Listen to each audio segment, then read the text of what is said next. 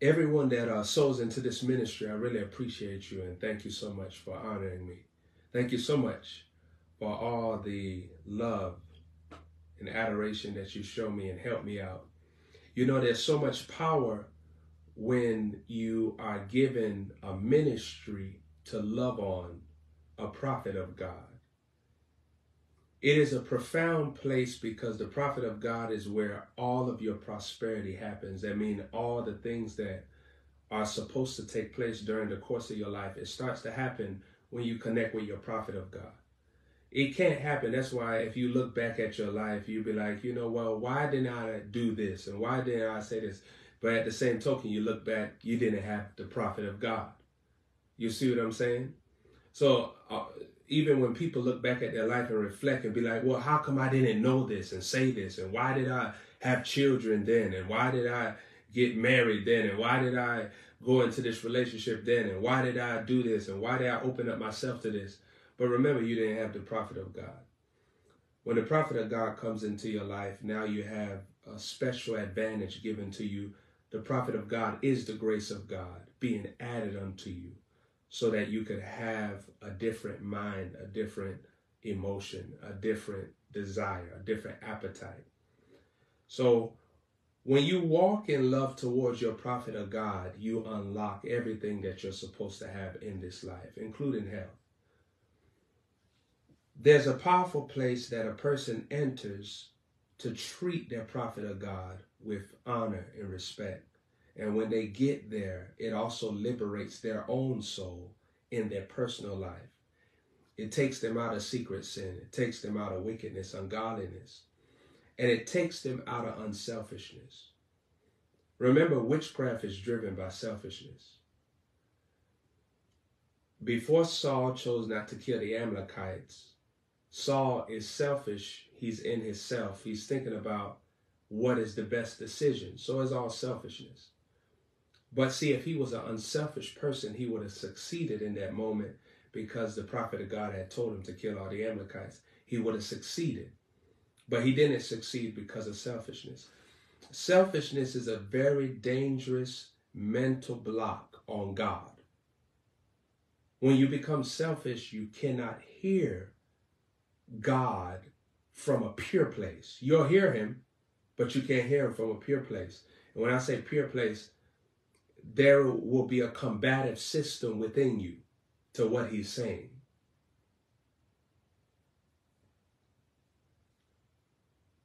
Remember, um, the Pharisees, every time Jesus said something, they found fault with it somehow. If Jesus said, uh, I come to, uh, your sins are forgiven you, they found a way to, no, this not right. If Jesus said, um, stretch out your hands on the side. They found a way to say, no, that's not right. When Jesus said, drink of my flesh, uh, uh, eat of my flesh, drink of my blood, they found a way to say, no, this is not right.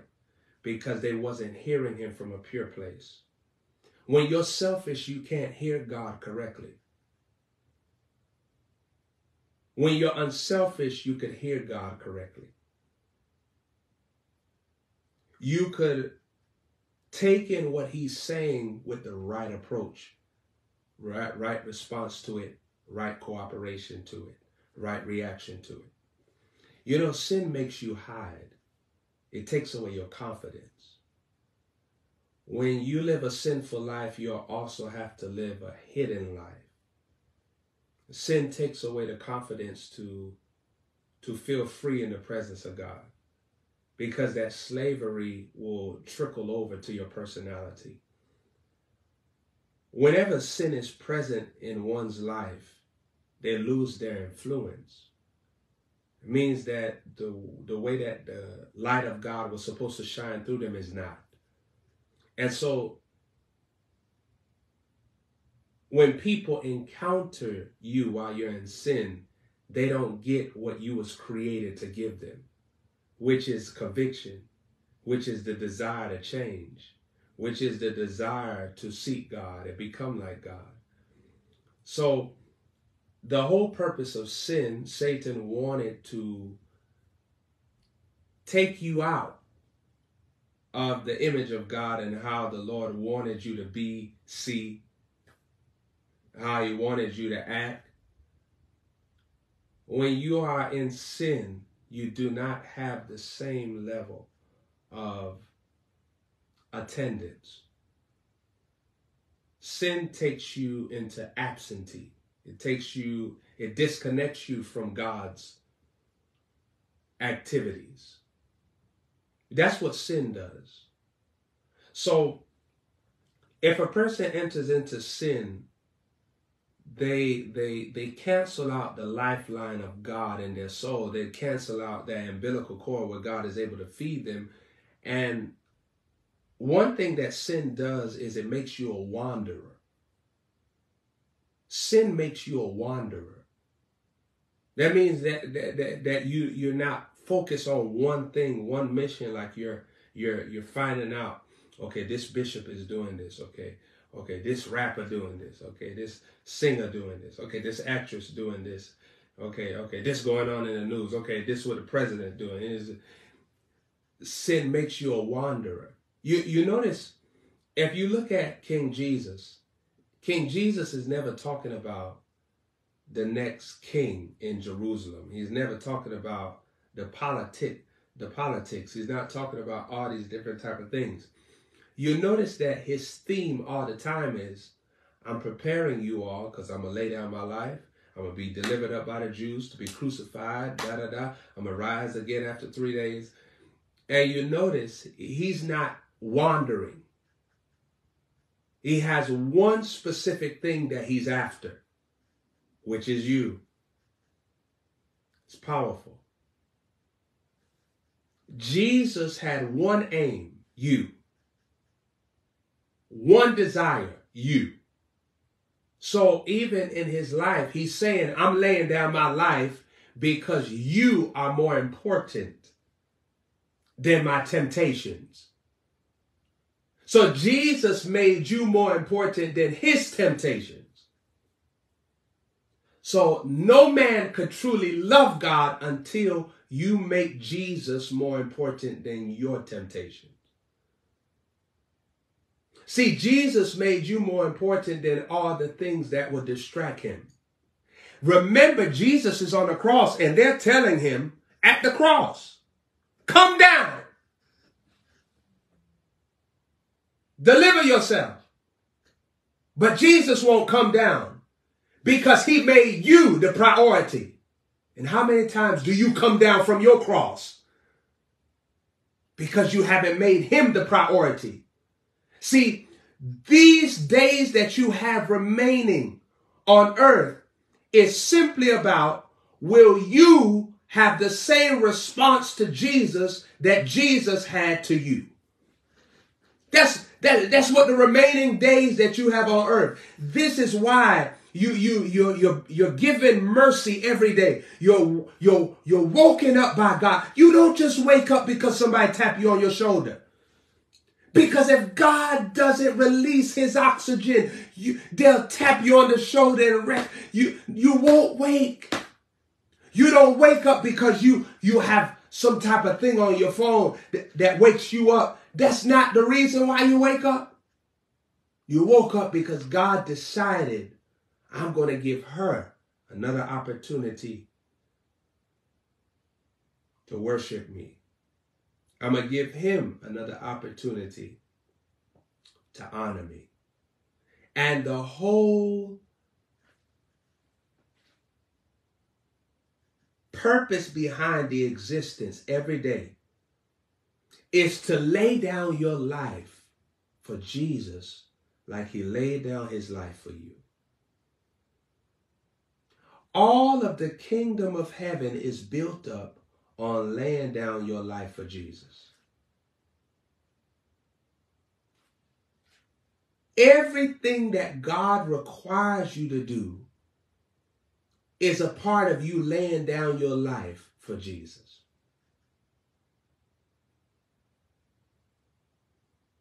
Work is the wisdom for seed to sow. But the seed being sown is the wisdom for wealth, health, and all of the blessing. You lay down your life to get the type of provisions that you're supposed to have. All of your provision is in laying down your life. I was thinking about it. Saints, when you work real hard, it takes a toll on your body. How many y'all ever experienced that? Well, you ain't got to tell me. But if you have ever worked hard, these last 15 years of my life, 15 years? No, I want to say these last 12 to 13 years of my life, I've been working real hard. It takes a toll on your physical body. Your body feels it. Now, if you want to go into depth, working hard is something that God does also. In the book of Genesis, the first thing that we see is God presenting himself as a worker. The first thing that he starts to show you is this is my work and it was good. I had to work to create the fish. I had to work. Now, saints, I, I, I want to say something real strong to you, and this is so amazing. When a man has a child, the, the, the child comes out as a person, male or female. Eh, because the sperm of a man is created to produce another man, which is male or female. But the sperm of God is multifaceted. His seed produces fishes, whales, eagles, tigers, elephants, zebras, ants.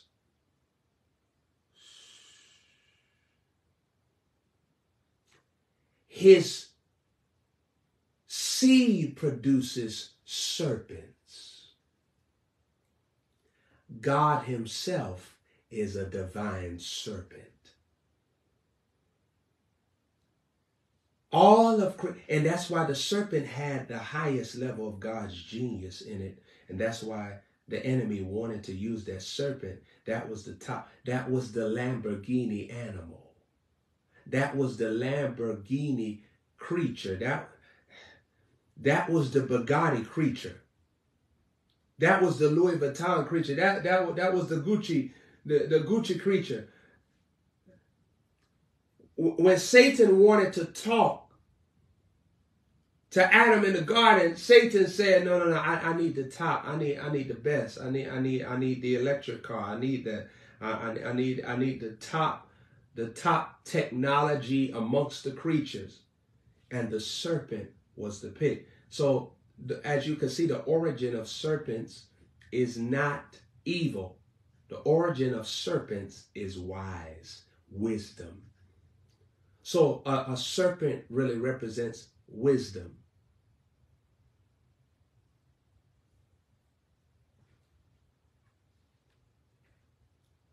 Wisdom is so powerful that if it is even evil wisdom, it can convince you down a path of self destruction.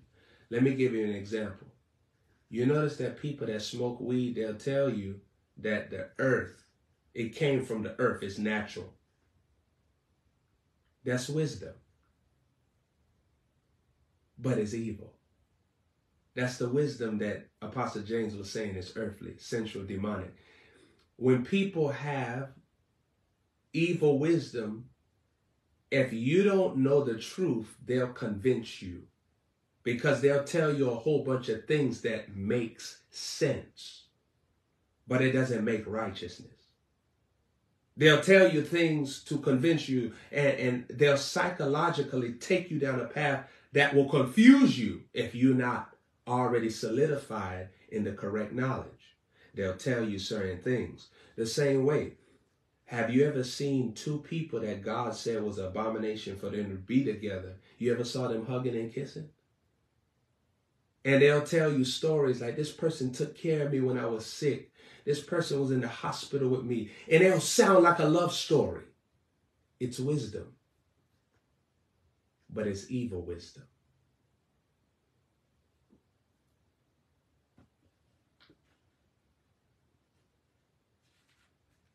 You notice when they was about to kill Jezebel, the man shouted out, who going who gonna toss over? Come on. What, what what's up? Y'all gonna let her live? Come on, come on. Somebody stand with me and get her. Now, if the person, if be before they tossed her down, if somebody would have said, let's protect her and care for her, would you say that that's divine love and loyalty? That's the righteousness of God? No. He said, no, no, no, don't kill her, man. Thou shalt not kill. Don't kill her. You see, it was righteousness. Now, if somebody would have said, Don't kill her, thou shalt not kill, it would have been wisdom, but evil wisdom. We often meet people with evil wisdom. That's why you see the Pharisees, they didn't tell Jesus, We are demons and we come to attack you. Rah, rah, rah. They said, We are children of Abraham. Huh?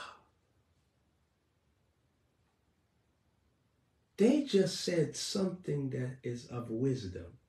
How could you pull that out? That's deep. How could you pull that out and be demon possessed? You just said that you're a child of Abraham. Child, the, the revelation about being a child of Abraham is of the kingdom. So how could you speak that and be demon possessed?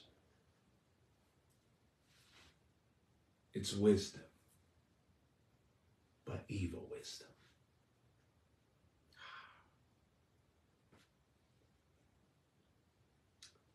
That's why if you yourself don't walk in humility and submission to God's will, and you don't seek Him correctly and, and keep your heart in the correct place, you yourself will become a person of evil wisdom.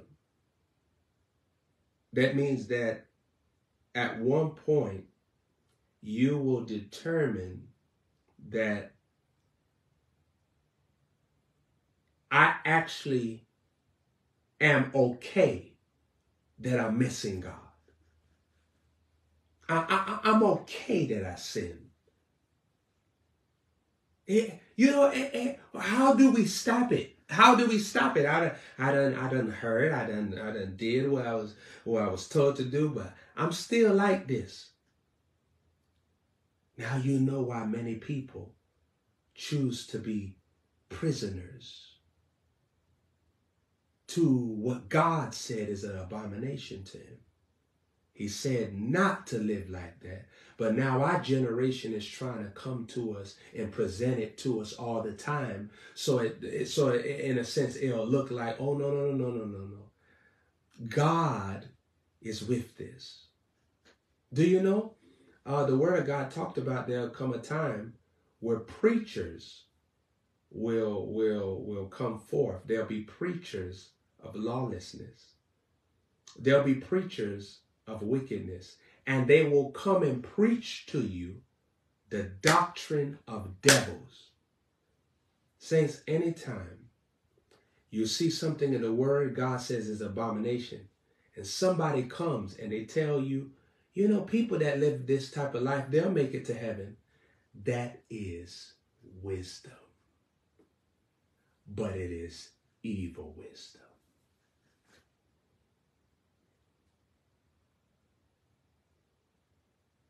And saints, when you live so long being wicked, it becomes your concept until you boldly start professing it.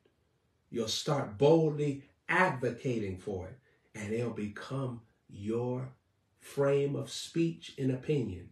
And you will also encourage others to do the same.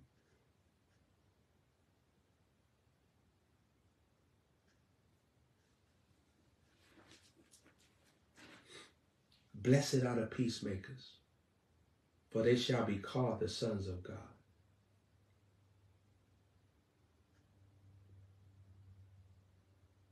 Blessed are the peacemakers, people that make God's reaction to a situation the theme of an environment. Whoa, whoa, whoa. They make God's will, what He wants to see, the theme of everywhere they go.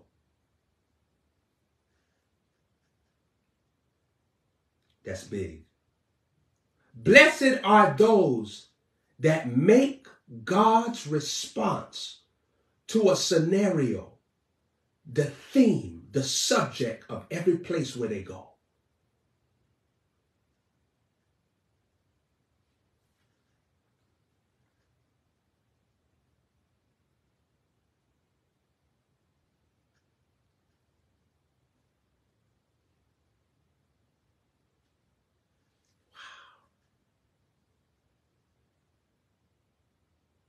We played four basketball games today, full court.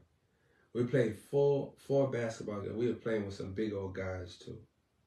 And boys was big. They six, six something in height. We so I had a great I had great games in all those games. I had great assists, great shots, all that stuff. But towards the end, there there was a young man came. He he he was an older gentleman, like he's 40, 30 something years old. Give me a second. And something happened. Give me a second.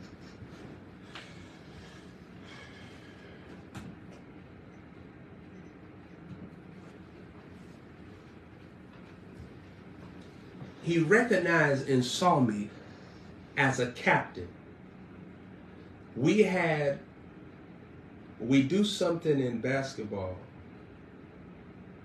where before we start the tournament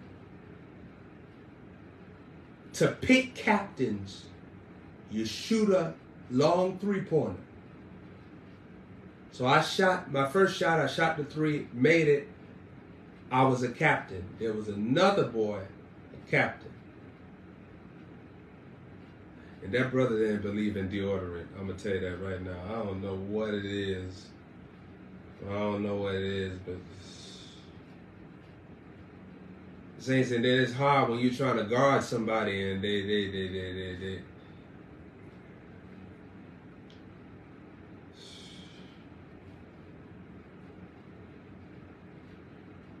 Saints, when you meet somebody like that, you'll you'll spend extra time in the shower just trying to hope that none of their residues got on you.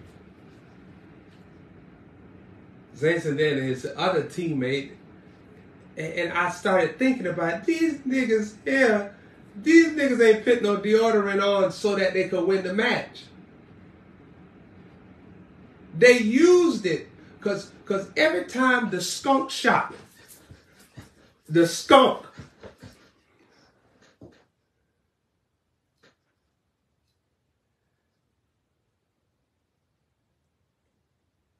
It, it was a it was a strategy. It was a missile. It was a strategy. It was. It's, it's, it's, it's hard to guard somebody when they. Now watch this here. So. There was a guy like 30 something, 40 something. And he asked me, could I play in the next match? And I, I said, yeah. And he was like, I have two people with me. But they were children.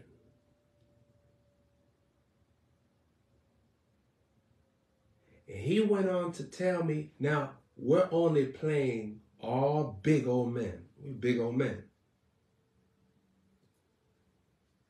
But the guy represent he, he realized that I was a captain. So he came to me seeking favor. Here's what I did.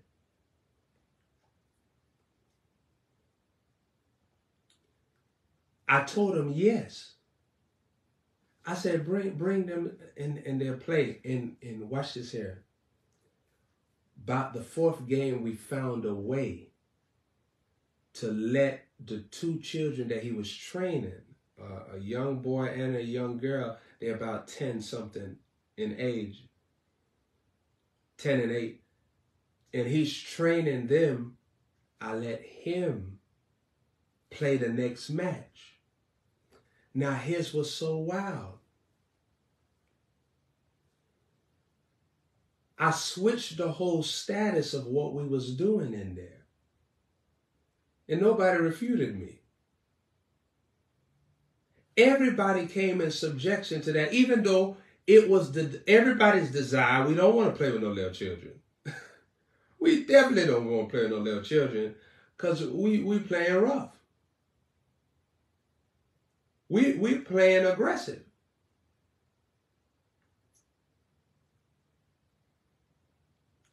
But to be a peacemaker, you got to go beside your preference of reaction in order for you to do something that God wants to do. Before I left, the guy kept thanking me. Thank you so much. Thank you so much. And he was real good. He was he, he could play like the NBA. He, he real good. He was real good. And we ended up coaching his own children while we, while they was there because if, if they miss something, you know, children like to get they, they, they get embarrassed, they get stuff, and we end up coaching them. and already giving them a winner's mindset. Now that thing trickled over into Jesus. It trickles over into the gospel. Because even in life, if you think that you missed the mark at one point, what the hell you going to do? You going to sit there and wallow and be sad for yourself and continue? Or you going to make the correct shots in your decisions? You going to keep on missing the shots? Oh, I messed up, so I just go and stay here and die and, and, let, lay down and let Satan just rape my destiny away and take my destiny away? Or you going to get up and start making the right moves? You got to get out of the place of just letting things be so passive and you got to say to yourself, I'm going to be a peacemaker. I'm going to make wholeness happen wherever I go. Wherever I go, I'm going to make wholeness happen. If I go here, wholeness going to happen because I'm not going to have my own reactions to this. I'm not going to be the one deciding what I want to do and is wrong. I'm going to let God be the one acting out his reaction through me.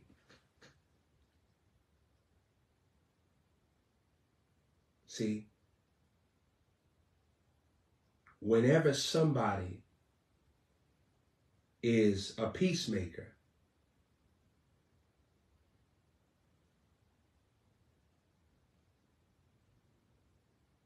they are someone that is taking on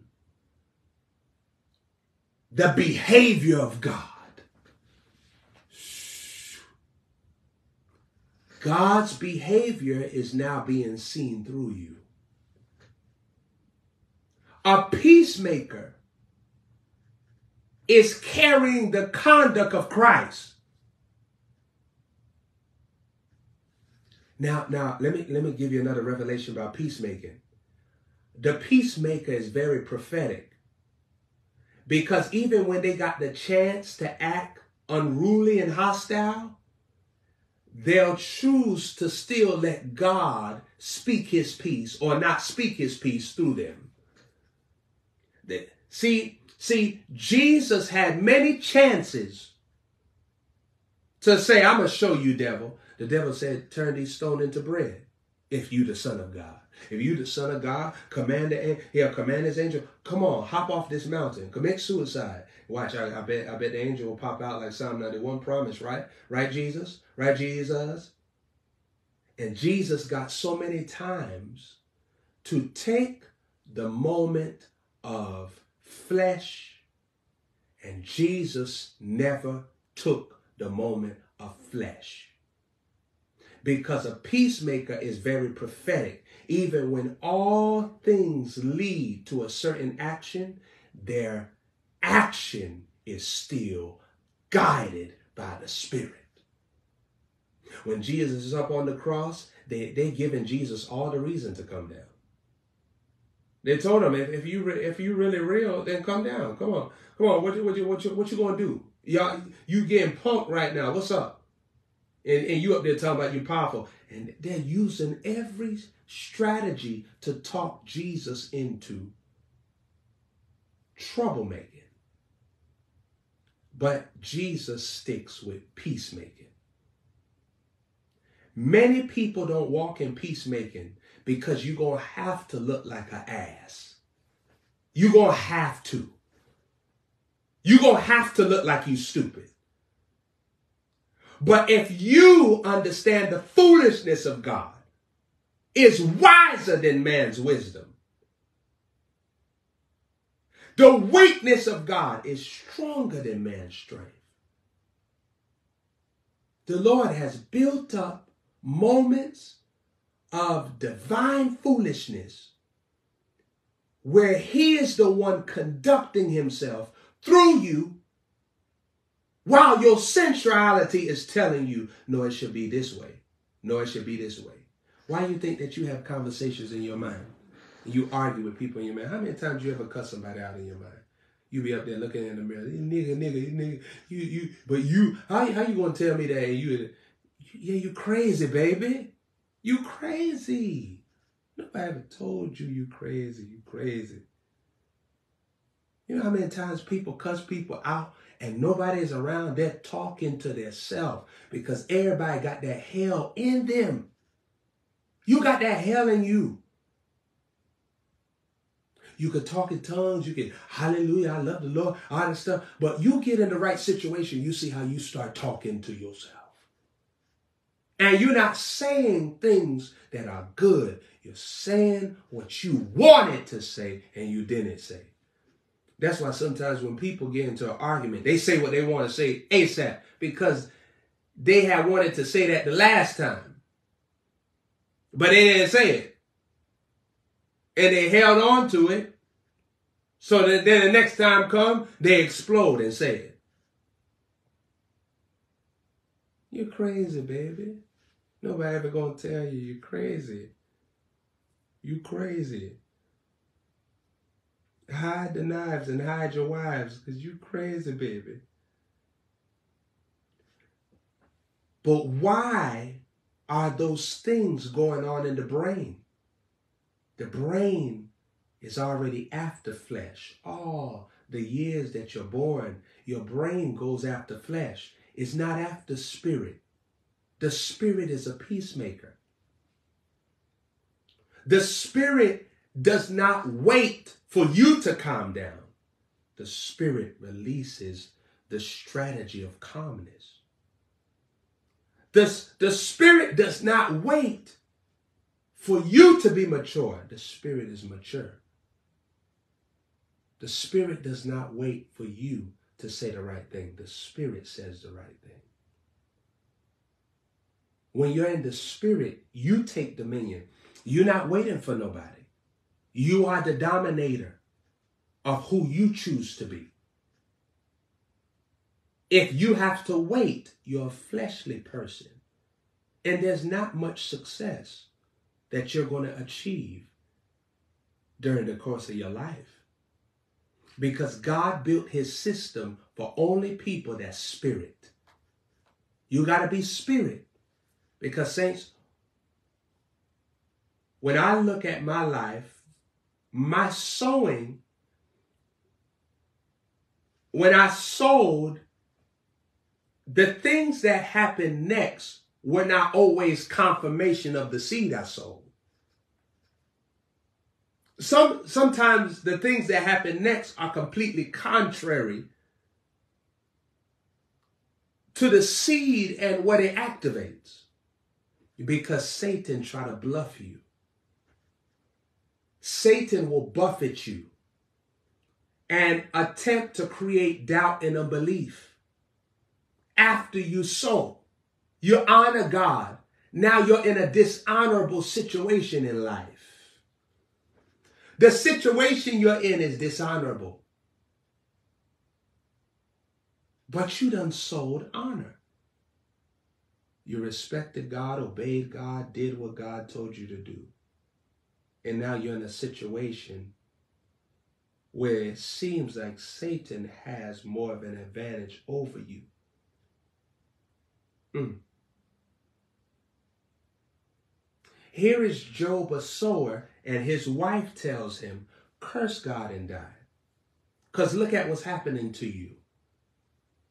Now, now, saints, we never really think about this. Why did she say curse God? Why didn't she say curse the devil, the devil attacking you? Why was her first reaction was curse God? Because in her mind, she felt as though you obey God and look at what God is doing to you.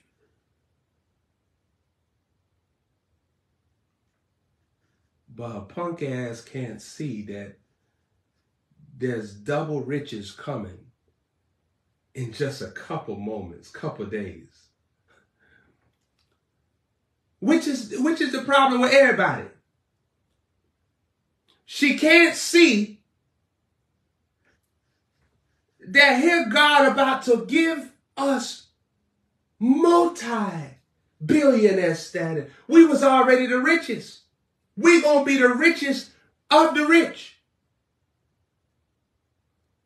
But the evil wisdom, the brain tells her, we done sold and look at what we reaping. Baby, this ain't what you're reaping. This is a test. This not what you're reaping. This is a test. And if you pass the test, what you're reaping shows up. You don't pass the test, what you are reaping does not show up.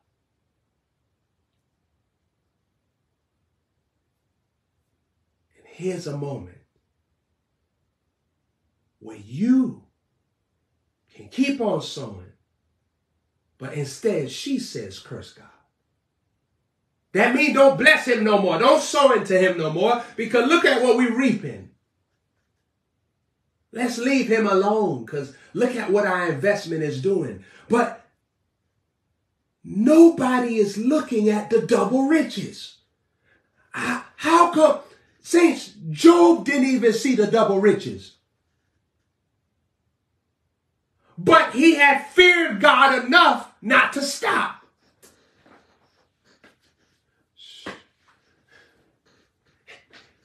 See, there's a realm of loyalty and friendship that you have with God that even when you can't prophetically see the fullness of his plan, you still ain't going to go against what he trained you to do.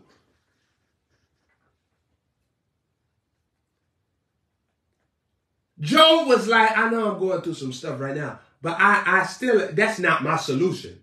I'm not going back on what he taught me. I, am not going to stop doing what he trained me to do. I, this, this is not what I'm bargaining for. I don't want this stuff to happen to me right now. What I feared has come upon me, but I'm still ain't going to stop what he done trained me to do. I'm going to stick with the kingdom. Now, meanwhile, double riches. Nobody's seeing the double riches. So when God is giving you power to stop watching porn, Can't you see the double riches?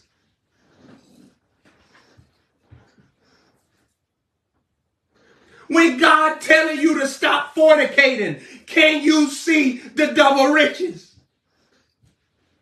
When God telling you to delete the person out of your phone, don't call them, don't text, can you see the double riches? Nobody is seeing. Why is God telling me don't go there no more? Why is God telling me to disconnect? Why is God telling me stop living like that? Why is God telling me to come out of the sin? Can you see the double riches? No, no, no. You just looking at the instruction. But can you see the double riches? Nobody saw the double riches. Saints, Isaac did not see the same year he was going to receive a hundredfold. He did not know that the harvest was right there in the same 2023. But he was sowing. This is the year where everything he fantasized and dreamed about is ready, is prepared, and is about to be dispersed right into his bosom. And he keeps on sowing and he sees an overwhelming tsunami, a tidal wave of God's wealth touching him. This ain't what the famine was showing Isaac. This not what the problems was showing Isaac. Isaac is now in double riches. God has a kingdom that it tries you with instructions. But all the double and the provisions and the supplies is already made. You say no to it, you gotta be a fool and live underneath this deception of this world system.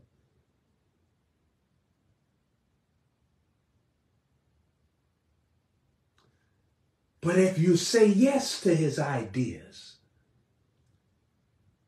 there's pleasures forevermore. It doesn't stop.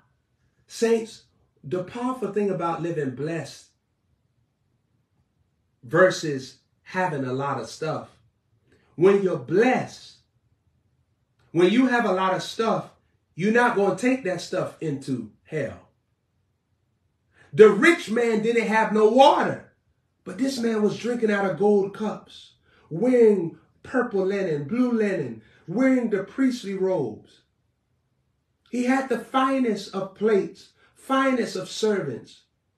But he goes to hell. Nobody is serving him. Nobody is feeding him. He ain't got no food. He's hungry. He's thirsty. He asks Abram, he, Lazarus, can Lazarus come and put a drop of tongue, uh, uh, uh, water on my tongue? Not even swallow the water. Let me just feel what water feels like again. When you have a lot of stuff, you can't take it with you. When there are musicians that when they went down to hell, all that they lived in, they don't have it no more. All the lavishness they had is no more. Now suffering, torment, torture, torture. Hell is a place of torture. Hell is a place of torture. Demons torture you because you didn't receive God. They torment you because you rejected Jesus. But when you bless, all that you have today, you get to continue in the abundance of that same thing for all eternity. So saints, if you if you wear a lot of nice necklaces, when you go into eternity forever, you're gonna wear all the nice necklaces, even necklaces you never knew about, diamonds you never knew about. It's gonna continue.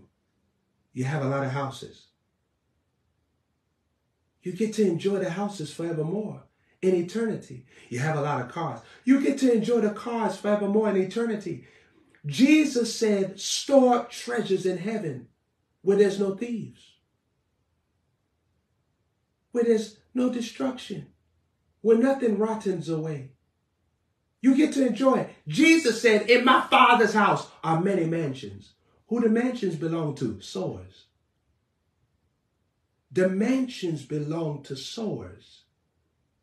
They're continuing the lavish life that they unlocked through honoring God, taking care of Him as He appeared to them in a body, as a prophet, as an apostle, as a teacher of the word. And as they sowed, and they unleashed the hundredfold lifestyle while they was in this life. It continues into the next life. Jesus said that the hundredfold in Mark chapter 10, I believe, it says that it's for this life and in the life to come. The harvest just keep on coming, the money just keep on flowing. It never stops. The Lord takes all that you achieved in this life doubles it, increases it, triples it, quadruples it, and brings it to you forever for you to enjoy. The Lord want to stuff your face with his provisional grace. And that's why I'm going to speak over you right now in the name of Jesus. All my partners, I speak over you a blessed week. All of you all that sowing to me, I decree the money cometh mantle and all of the ministering spirits and money cometh. These angels, this angelic host, the financial host of God, to minister for you all this Monday, this Tuesday, this Wednesday, this Thursday, this Friday, this Saturday. I speak the blessing, the empowerment of good success and prosperity over you. I speak all of you over you that sow into me. You serve and sow into me. I decree over you that your soul be free from the chains of darkness. I speak over you that sin would die in your heart, that the resurrection power of Jesus will live in your heart to be risen from death, to be risen from sin and iniquity, I speak the blood of Jesus in the new bloodline, which is the blood of Jesus. I speak it to be made manifest, to be made manifest. And I decree over you that the blessing of Abraham, that you will experience the transfer of wealth and riches and health, longevity and salvation that Abraham also walked in during the course of his life. Remember, Abraham was so healthy that even after Sarah died, he got remarried and had more children. That means all his parts was working. His blood was good. His life was good. His body was still working. He had energy. It takes a lot of energy to make a child. you see what I'm saying? That's not no easy thing. And he had several other children. That's the blessing of Abraham. Your energy in your body is restored. Your blood is made clean in your body. I want to say something amazing that the Spirit of God was talking to me about.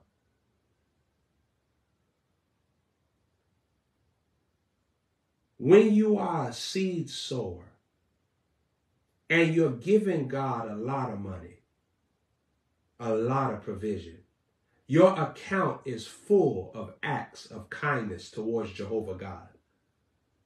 You're a worshiper of King Jesus. You're blessing him. You're giving him large money. Let me tell you something. The Spirit of God told me this. You carry divine blood in your veins.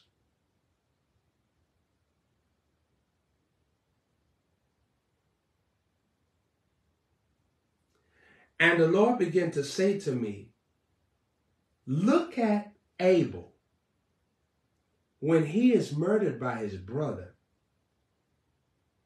I told his brother that his blood cried out from the ground. How is the spirit realm saturated with the blood speaking from Abel's body? because his blood was divine, just like Christ. See, sowing carries a bloodline of anti fornication, anti pornography, anti sin, anti lust, anti love for the world, anti distraction, anti fear.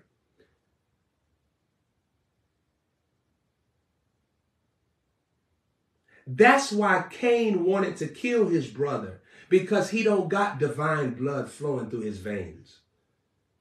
He has evil blood, which is hatred, jealousy, cruelty, death, murder. But here's David. No, no, Abel rather. Abel is moving with divine blood. And Abel is able to sow continuously without any weariness. The Bible says he will give God his fatlings.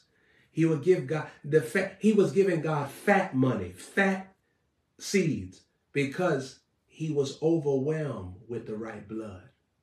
He was working the right blood, not the blood of evil, not the blood of hate, but the blood of love.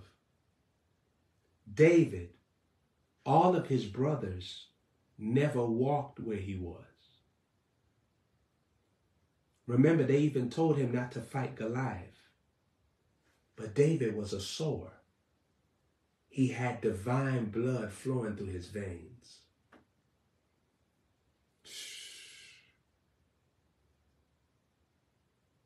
Saints, I'm going to say something that you never heard before. When David wanted to build a house for the Lord, the Lord said, No, it's okay because I had you shed too much blood. I had you I had you slaughter people for me. That's okay. I'm gonna use your son. His he he he didn't have that warrior type thing assignment. Now look at this. This is real powerful. Listen what I'm about to say.